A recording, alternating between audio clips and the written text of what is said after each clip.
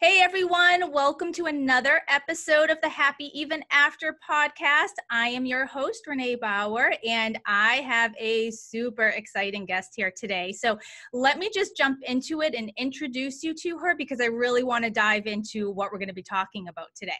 So I am here with Judi Holler, who is a best-selling author, speaker, host of the Fear Boss podcast, and CEO of Holla Productions. She's been professionally trained in improv theater, and her book, Fear is My Homeboy, became an instant bestseller, which I'm holding up now if you're watching this video. Her mission is to help you be braver than you were yesterday and smash comfort zones by experimenting with fear. Her vision is a world so brave that the word regret has been removed from the dictionary because you were too busy making things happen for yourself. She likes her books non digital, her wine bubbly, and her music hip hop. So, welcome. Hi, Renee. That's awesome. Can you just follow me around life and introduce me, please? That was really great. sure. so good. I'm honored to be here. Hi, everyone. So, um, I picked up your book over the summer, actually, cool. and I was on vacation, and I I picked up a bunch of um, inspiring, empowering books, and I picked it up because, quite frankly, the cover is awesome. Thank you. That was very strategic. Yeah. You know, but they don't tell you when you write a book. I know you you've written, right? Mm-hmm. And so, you know, you're really responsible for the marketing of your book, right? And right. so I knew when I created this book that yes, we were going to have juicy content, but I'm not going to I'm not going to kid you. I wanted this book to be Instagram worthy. Are you kidding me? And it, it just I love that the cover called yes. you pink is certainly um, a power color for me. So and and it's just it's it's a boss color. It's a boss babe color. It's awesome. I love it. And so and the cover is probably the least important part of this book because it's really what's inside that is awesome. So let's start there. Um, you're an author now, you're a speaker, you're a CEO, but that wasn't always what you did. How did you get into this work of helping people overcome their fears in order to really live their best life? Mm. Such a beautiful question. And I love that we're starting here. So, uh, the answer to that question is this it's because I've learned through repeated attempts of doing scary things myself and thriving, thriving through it, that you can have any life, any business, any marriage, any relationship, any freaking bank account that you dream of, as long as, disclaimer, as long as you are willing to do the uncomfortable work required in order to earn it. So I have learned how to work with my fear using confidence building ideas from the improv theater, which we can talk about. And I've never looked back. So I want to.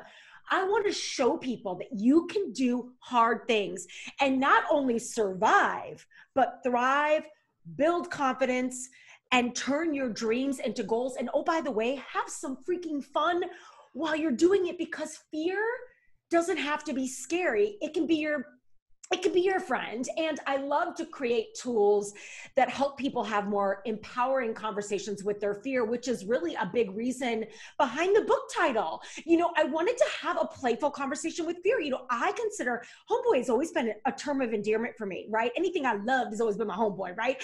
And so when I thought about my fear, I said, well, why am I having such a, a a fear-based controlling negative conversation around my fear why not start to invite it to my life party have a more empowering conversation and uh, remove that stigma around fear. You know, it doesn't have to be scary. It can do really powerful things. So that's kind of the short answer to why I'm here. I mean, I really, uh, most of my life has been inspired by those confidence building ideas I learned in the improv theater. And like I said, I've never looked back.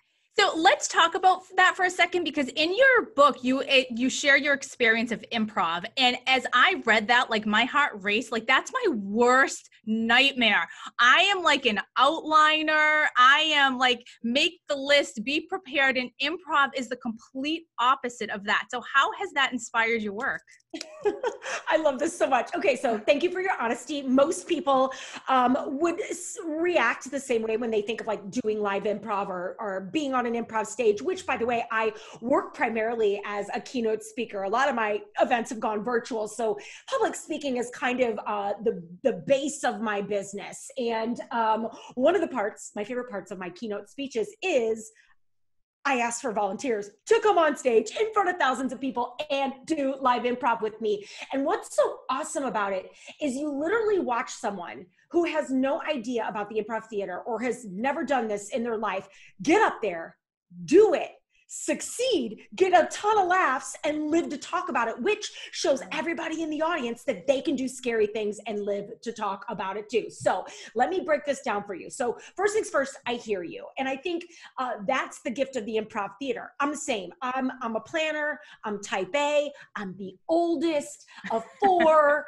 um, you know, I'm kind of always in control, right? And improv is the exact opposite of that it is about no control because in the improv theater, we have no script and neither do you. I mean, when was the last time, Renee, that you woke up with a script? Now, you may have a to do list, a big, long, juicy to do list. You might have some mm-hmm. goals and some dreams and some things you want to get done today, but really, you and I do not have a script ever. And I think this global pandemic has really shown everyone that you are really never in control. And like I said, you can have plans and goals, but we never really know what the future holds. Improv gets you ready for that because while you may not know what's coming next, what you can always control is you and how you show up. And the best part, the best part um, is that in the improv theater, it is not about having like the best thing or being the greatest or the smartest. It's always about the next thing. So, improv essentially is momentum, which is freaking magic because fear hates momentum, because momentum means success, and success equals change. And when you change, you may not need your fear as much. So, improv is really um, the study of forward momentum it's the study of trusting yourself and it's the study of realizing that you can do hard things even mm. without a mm. script and the more you do this the stronger and braver you get Oh, I love that so much. I'm like so pumped up. I wish I had like a little thimble of your energy that I could like shoot every morning and be like, here's like my Judi energy and woohoo, it's awesome. I'm telling you, Renee, if I could figure out how to bottle this and, and sell it, I would be a bazillionaire. But literally, this is like the vibe, right? I've always energy's kind of always been my superpower, and I love that you said that because my husband always makes the joke to people. They're they're like, "What's it like being married to Judi?" And um, by the way, my husband's divorced. Um, his first wife, we share stepkids, and um, but you know, I'm I'm sorry, I'm his second wife. That he's my first husband since it's a divorce podcast, so we know all about walking through that journey yeah. and um, supporting him through that. But he always tells people, they're like what's it like being married to Judi? And he's like, you know, it's basically like every morning getting shot out of a cannon. So you pretty much summed up what my husband says on, on the regular. That's awesome. So you have a sign behind you that's lit up in neon that says yes and. Yeah. What does that mean? Okay, I love that. So to your last question uh, when you when you think of the improv theater and how those confidence building techniques really help me manage fear yes and the two words behind me in neon are probably the the most impactful two words that the improv theater gave me and they really are the foundation of all improv theater training. So let me break that down for you. Breakthroughs. Breakthroughs happen when ideas are not just explored, but when they're like heightened and stretched and pulled to levels beyond your wildest dreams, even even if it feels uncomfortable, even if it feels weird, and most certainly when it feels absurd, because this is really where all the best comedy come from comes from, and this is where funny like the funny stuff actually happens and yes and helps us stretch and pull and go to these weird places so basically what it means is yes is me saying yes i see you i hear you i am receiving what you just said to me and I'm going to add a layer and I'm going to add something to this and I'm going to move the scene forward. So let's do something tactical here, Renee. You've probably heard this a million times. Uh, I love you, but. Oh, uh, yeah. Yeah, your presentation was great, but um, the, the, the, the conference is incredible, but. So basically what the but is is it's controlling it's mm-hmm. fear-based it's not collaborative it's it's trying to get in there and put your perspective on something because you don't really believe like i love you but basically means i love you but i don't really love you here's what i really mean right? Same with so, i'm sorry right? I'm sorry but is never an apology.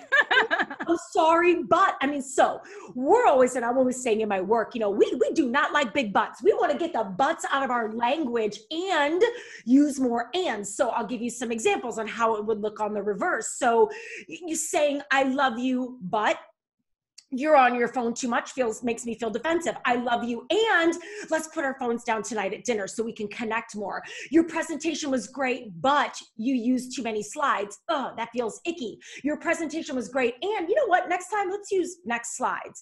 So less slides rather. So you get where i'm going here. You can take that one word and insert it into your conversations and your meetings and your brainstorming and anything you need to do inside and outside of what you do every day and with your kids, with your family, because it will make you more supportive and collaborative and it'll keep the scenes moving forward. So we use these two words yes and to do that. Like someone will come out on stage and say something right? We get a character and we get a suggestion in the improv theater right? And so maybe it's like Uh, okay our scene is like we're or we're our relationship is we're two work colleagues and our our object we're going to have an object and it's a wallet okay? And someone would literally have to start the scene with no script. And the person would say stop right there jeffrey that's my wallet and so if I were to go next and I was playing in this scene, I would use yes and, yes and to move forward. I would say, yes, Jeffrey, that's my wallet and you've got my hundred bucks in it, give it back. And then that person would say, yeah, it's a hundred bucks, but God, I got to pay my lawyer and that'll help me get my car back or whatever. Right. And so we use yes and, yes and, yes and to keep things moving forward, especially when we're building a scene. And yo, those two words can become an anthem, not only um, for momentum in your life and managing fear, but most certainly for having conversations that are really beautiful and really collaborative and a lot of fun. So, what does someone do who feels stuck? And that can be stuck in a job, stuck in a marriage, stuck in whatever bad situation that they're in that doesn't fulfill them. What do they do when they're afraid of taking that first step forward? Because that's what paralyzes people. It's, it's the uncertainty, it's the overwhelm, it's not knowing what is comes out the other side. Where do they start? Yeah, absolutely. So, um, I I would say the second you realize that fear only has one freaking job and that job is to stop you you set yourself free free because every single time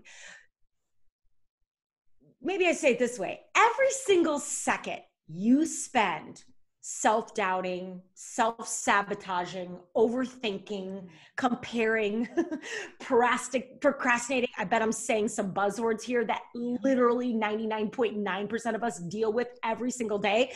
Every time you participate in those fear based behaviors, fear is winning. So, if fear has one job and fear's job is to stop you, then your job is to move.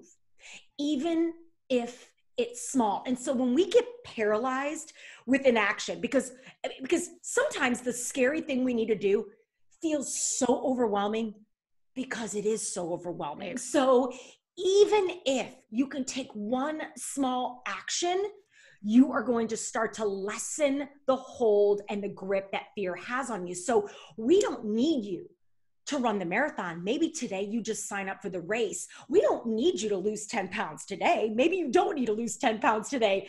Let's just go for a walk. You know, you don't need to mm-hmm. have divorce totally figured out. Today, maybe you just buy a book that can help you, or you research a therapist that could support you in your journey. So it's all about momentum. When you're paralyzed with fear, fear's winning. So your job is mm-hmm. to move. And and even if it's a little bit, even if it's a small action towards the goal that you want on the other side of that rainbow, um, you're you're winning, right? You start to get more control back and remove the power fear has over you. So I'm always telling people, small, consistent, daily actions. That is the kryptonite to fear. Fear hates that. So, do you consider yourself someone who is fearless? Ooh, we have to have a conversation about this word, Renee. so, why okay. do you think I brought it up? I know you've read the book. Okay, I have. let's talk about this. Okay, so if there's one word I loathe it's the word fearless right so everybody but see here's the thing this is why we're so confused about fear renee like everybody's telling us to go be fearless there's fearless t-shirts and jewelry and bumper stickers and books and songs and all this stuff right everybody's telling you to go be fearless but think about it if you were really fearless you would do all kinds of crazy stuff you would you would never go to a doctor.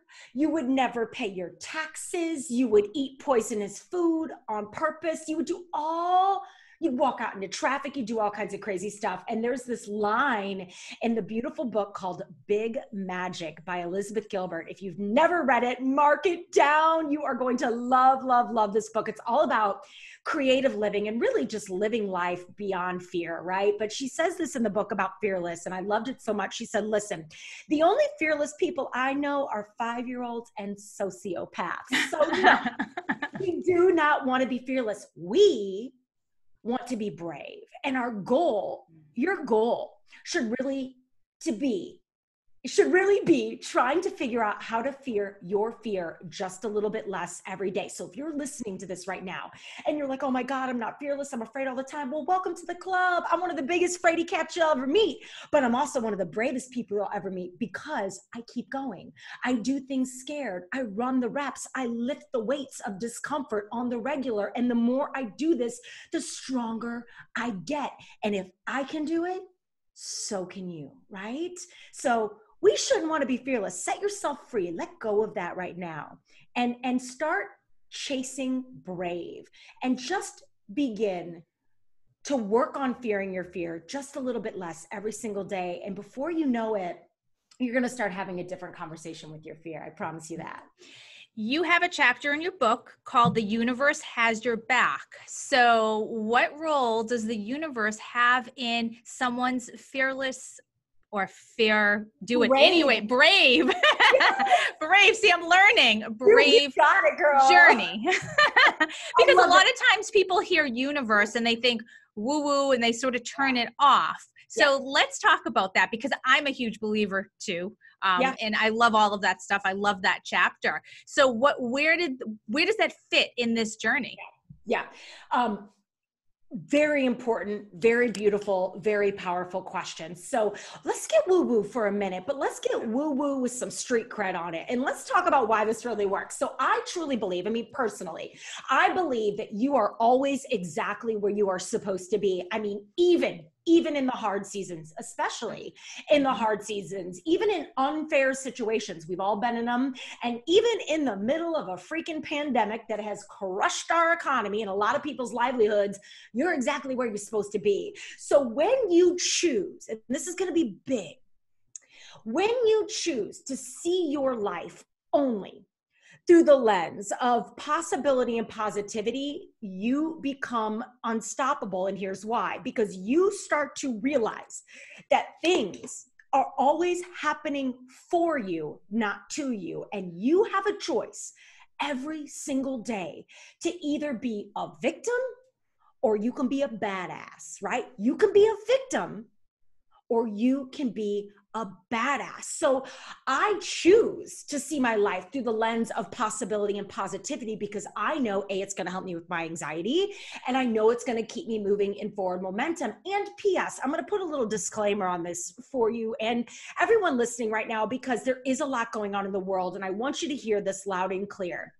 Your positivity does not discount that there is pain in this world. And your optimism does not deny that people are suffering. But what it does do is it keeps you moving forward in a healthy way. And it means, it means you've made a choice to be the light in a world that can feel really, really dark in situations that can get really, really dark. So I liken it to there's a lot of people, I mean, we, everybody goes in their ups and downs, right? And there's certainly things that are going on in our life right now that are really tough uh, in our family. And then there's seasons where things are really great. But I know that the people that can give me light and life and positivity are the are, are the gifts that I need in that season. And I love to return the favor when it's a season for me that feels um, a little bit more joyful because I think there's people that are we all know there that are really struggling and maybe what you're going through right now is really tough um, and it feels hard to be positive.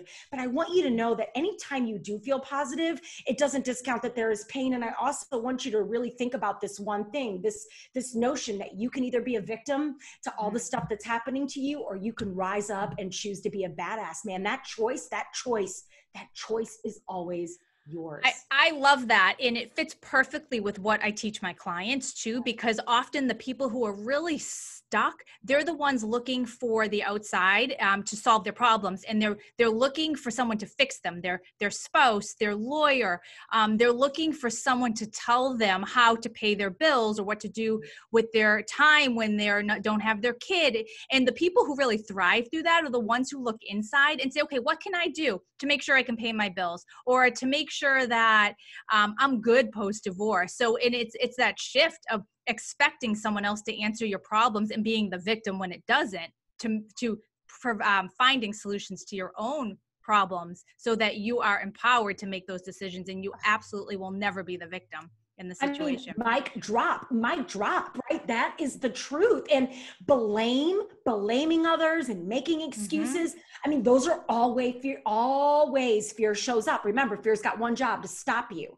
And if fear can stop you, okay, great. You know what I mean? You're not going to get anything done in your life. You'll stay stuck, safe, and just the same exactly where fear wants you. But if you can rise up, if you can make a change, if you can learn something new, figure out how to balance your checkbook, get a good lawyer, hire a therapist, read some books, figure out what to do with the kids. Oh my gosh, move out, get to like your life changing. Oh God, I'm exhausted. right, right. And but and but it can feel so overwhelming. All of that, like somebody listening right now might have an end goal in mind. They want happiness, they want love, they want to be free from maybe something they're in that doesn't uh, feel right or isn't serving them and that can feel a really long ways away so forget about all that what can you do today what can you do today and um, when you see yourself as the heroine, right, the star of your own movie and the yeah. and the the hero in your own story, you really start to have more confident conversations with yourself because, dude, this is your life, and there's three words that should inspire everybody: you will die, you will die, death and tax. like none of us are getting out of this alive. So what are you gonna do? What are you gonna do with this beautiful Judi, life? that might be the name of this podcast episode. you will, you will die. die with Judi Holler. Oh, great. That's perfect. I know. Just kidding. well, it's perfect. I don't know when it'll come out, but it is the month of Halloween. But we're meaning, yes, but it is the truth. Isn't that the, I mean, the, the, have truer words ever been spoken? Right. And I'm always thinking about that, yo. Like we were just talking about this the other day, one of my best friends, you know, with everything going on, you know, with people getting furloughed and losing jobs and industries collapsing. I have a lot of friends in the live events and meetings industry, mm-hmm. right? So most of my friends and they're in marriages like where they're both in the industry and people are losing their jobs and not being able to pay mortgages and didn't save and didn't plan and a lot of stress, right? And um, we were talking about this notion that, you know, we we would go on so many trips and we went on so many cool things and we did all these great experiences and I'm like, dude, I have no regrets about any of that. I'm so glad I used my airline miles and cashed in those points. And we, we made the joke that be smart, right? Save for your future. Pay yourself first. Invest, save. You have to. You have to take good care of yourself. As a woman, You've got to be able to stand on your own two feet. Mm-hmm. That said, drink the Veuve, light the good candles, put on the, the nice jeans. You know what I mean? Like you're wearing a fur right now. Wear the fur, right? Do it. Do it. Because we don't know if we get tomorrow. So for anybody listening, I hope that inspires you too. But I'm like, drink the Veuve. Be smart, yeah. but drink the Veuve. Right yes. after this interview, I'm gonna pop the cork. All right. It. So you mentioned something that I do want to ask you about is anxiety because mm. I feel like that. I mean, I feel like there's so many people in my circle, and it's almost like when you get to a certain age, like it kicks in. It's like, hey, you're 40, here, have some anxiety with, yeah. with this new decade. So what what do you do personally to really deal with that? Yeah, okay. Welcome to the club. Yes, yes, yes. I think most people have acute anxiety now. I think people who have never struggled struggled with anxiety are it's like welcome to the party. Welcome to a day in my brain, right? And I think it's funny because well not funny in a in a disrespectful way, but when this pandemic hit, I was like, thank God I'm an improviser, which means we embrace the plot twist. We can really navigate uh, without a script and we're used to uncomfortable situations. But then I also thought, oh my gosh, you know, thank God I've had anxiety my whole life. I know what this feels like. I can yeah. do this, right? And so, yes, there are definitely some things that I do to help me navigate anxiety. Number one, and you've heard me talk about it a couple times, my, I call it micro dosing. So going small to go big, like breaking things down into small windows. And I really think January 1st is a comfort zone. And I think New Year's resolutions are like January goals if you make it to the end of January.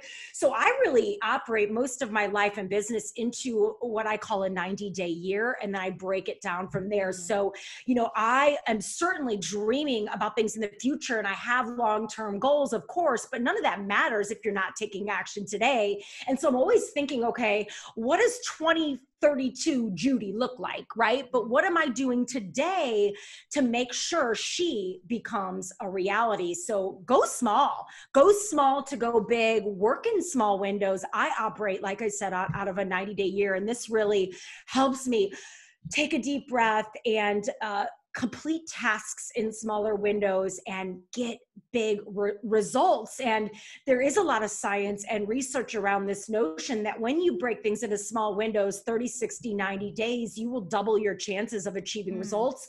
And personally, I've seen like, a, um, I don't know, I'd say 89, 90% ROI, return on investment uh, on my goal focused planning and, and really working in short windows. So that's, that's like tip number one. Do you do anything like that? How are you? I do. I, I'm exactly, I work exactly that way. I have my month plan. I have my three month, my six month, and then I'm constantly rewriting it. And yeah. th- that's, I mean, that's, but I'm a, I'm a list maker. That's who I yeah. am. I'm not an improv girl. I'm planning. it's okay. I'm a planner too. It's so funny. We're actually creating a planner, and we could talk about this in a little bit. But I'm literally my one of my dreams has been to um, for the last five years create a goal focused planner that kind of takes the elements of everything I love. I literally work with you're gonna three different planners. I have three planners that I carry around everywhere and use to organize my life. So I'm, I'm creating something right now that's gonna have everything in one. But that is an anxiety reducing tool for me because it gives yeah. me focus and fear hates focus because when you're focused, you're really hard to stop. And remember, fear hates momentum. So goal focused planning and like small windows are designed to give you momentum which is designed to uh, move through fear right is designed to help you move through fear and then i would think like practically i mean you've heard this a million times and you know you you it works if you're willing to do the uncomfortable work but moving your body. Yeah. Like for me, oh my God, do you work out and stuff for me? I do. Yeah. Yeah. It, I mean, I have to, it's, it's, it's a mental health thing for me. And if I don't, I'm miserable.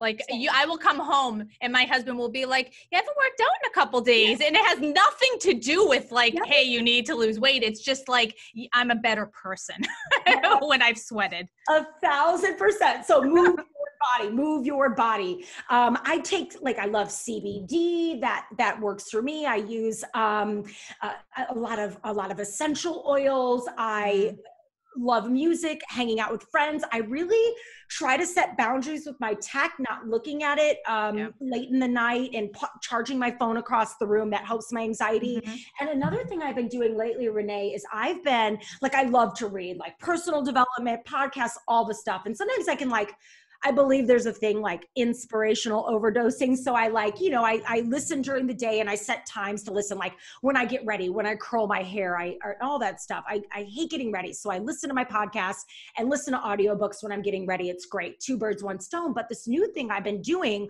before bed is I have been knee deep in fiction books, like fiction, ah. fiction, fiction, fiction before bed. And it just I, my phone's across the room. I don't, um, I have my alarm set, so I have to get out of my bed to get it in the morning. That's another thing. But I let myself go. I don't do any personal development or any sort of um, that kind of reading before bed. I just get my mind off the world. And fiction has been a lot of fun. And my husband and also, I also love watching like, you know, you know, I'll find myself watching like comedians in cars getting coffee or just things that get my mind off the world a little bit and into um, into a happy place. You What's know? your favorite fiction that you've read recently? Oh my gosh. Well, my all time favorite fiction book is um, The Nightingale by yep. Kristin Hannah. Okay. Have mm-hmm. you read mm-hmm. that one? Oh, yeah. Yep. Yeah. yeah.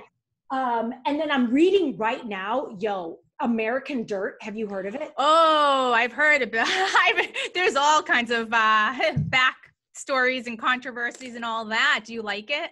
Okay, I had no. Okay, I guess mm-hmm. I just don't look around. I kind of stopped watching a lot of news and reading a bunch of stuff. We, I check in with different times, so I have no idea about the controversy.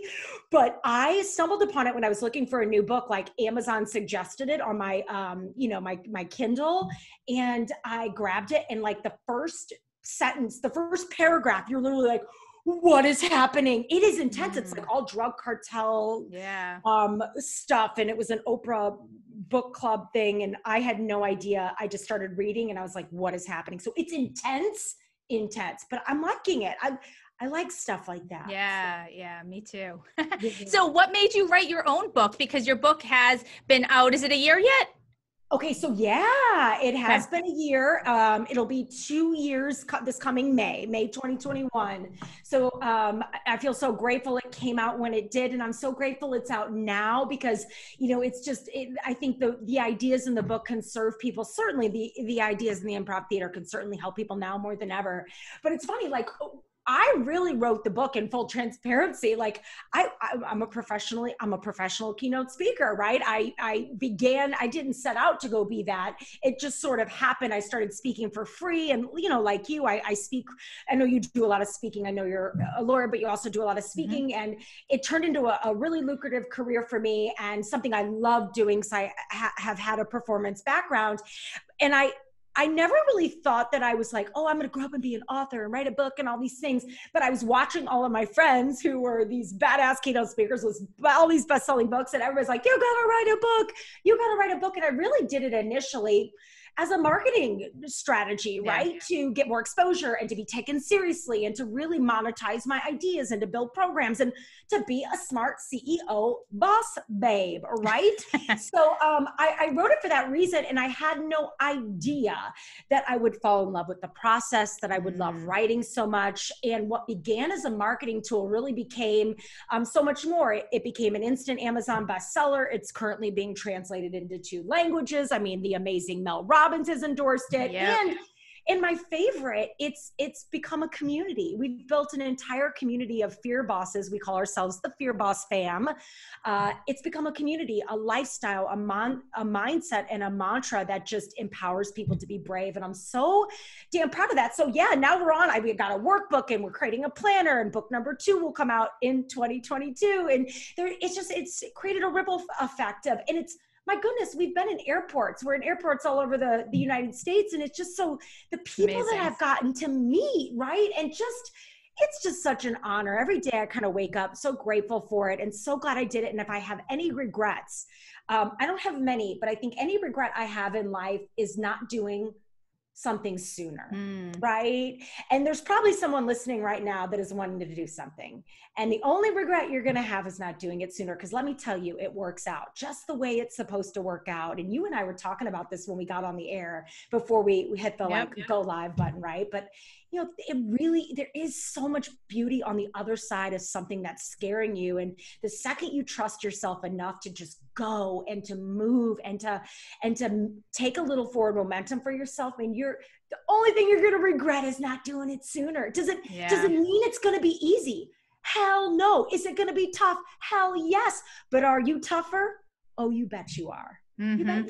And the reward outside at the other end is so meaningful and so fulfilling. And you might have worked, it might have been really hard to get there, but a year later, two years later, you might be living the best life that you never thought that you would be able to live. So I love it. I have one final question for you, but before I get there, um, I could talk to you all day, by the way. Same. So, and, and just for, so the listeners know, I um, found Judi. I stalked her after I read her book. And I think like I was sitting in New Hampshire reading it, and then I tagged her, and then my podcast launched, and I'm like, I'm gonna ask her because I just love your energy your podcast is dynamite like i i told you before we got on i binged I don't even know how many episodes. That must have been at least eight or nine. Um, driving to my son's soccer game. They're so good, so inspiring, and so energetic. Shocking. Yeah. so, so, where do we find you? How do we follow you? How do we connect? And of course, all of this is going to be in the show notes. Oh, this is so amazing. So grateful to you and for your community. And just thanks for the love. And yes, oh my gosh, let's stay connected. So, Instagram, you and I are friends on Instagram. So, um, that's probably the best place to hang out with me at Judi, J U D I last name Holler. Holler, like best last name ever. Um, and that is my maiden last name. I when I got married to my husband, I did not change my last name. Plus, my business was already built, my brand was there, but still, I'm like, that is the best last name.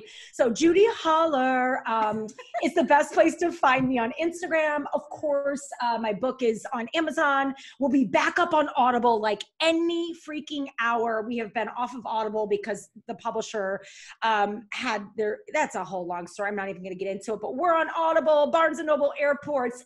And um, I wanted to tell you, and you could put this in the show notes. I've got a little free gift for your your ah, listeners. We love gifts. So if y'all text um, brave, the word brave to the number 474747, super easy. Um, you can test drive a couple chapters of my book for free and you'll get some cool screensavers and some journaling pages and just some fun freebies as a thank you for listening. But the, and plus it connects you to our community too. So that's just a great way to stay in touch. And we've got a planner coming. Oh my God, Renee. I can't wait so for yes. that. Put oh. me in for the oh. pre-order. Girl, I'm gonna send you one. Don't you worry. You're gonna get one. So, um, so I, yeah. I have two things. Um, one, the last name thing. I just did a post about this and got like crazy amount of feedback because this is a hot topic for people. But your last name, it's so funny because I'm a Boston girl. So what what we do in Boston though is we don't say the ER and we we drop it and it becomes uh any anyway, so to me, you are Judi Hala, which is your production company. Yes. I had to work. I had to work on actually saying holler. you could, you know what? Uh, you most people call me Holla, right? Judi Hala, Hala. So anytime right. you want, girl, just do it, do it, do it. okay, final question. What's the last thing that you've done despite being afraid of it? Oh my gosh.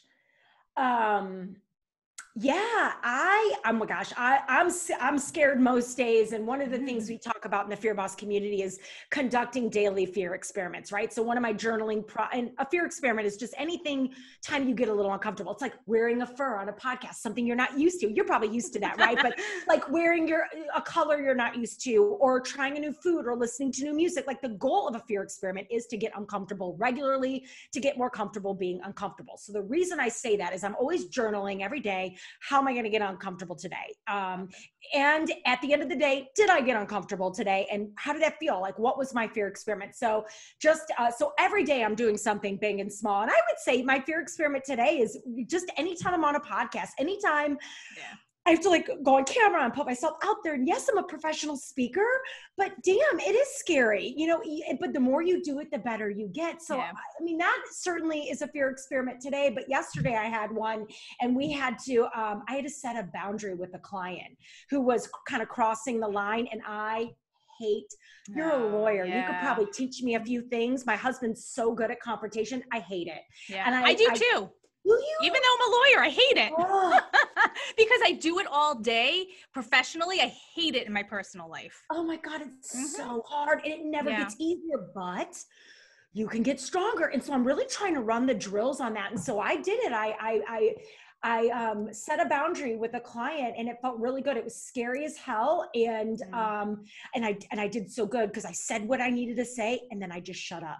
And there was like this 30 second awkward silence and I did not speak and I was so proud of myself and it worked itself out and it I got my point across and I just I feel stronger because of it still today 24 hours oh, later. Awesome. So yesterday I got uncomfortable by doing that and today um we crushed this podcast together. Yes, we did. so thank you so much for being on here. And I am so inspired and I am just so excited to share this episode because I know that my listeners are going to love it too. So thank you. Same back at you and stay brave. It was an honor to be here.